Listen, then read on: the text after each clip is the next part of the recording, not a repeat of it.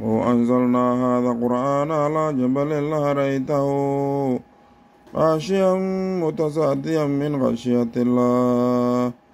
وتلك أمثال نضربها للناس لعلهم يتفكرون.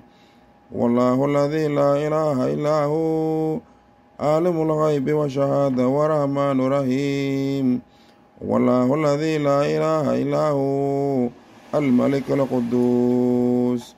سلام المؤمن المهيمن العزيز الجبار المتكبر. سبحان الله ما يشركون.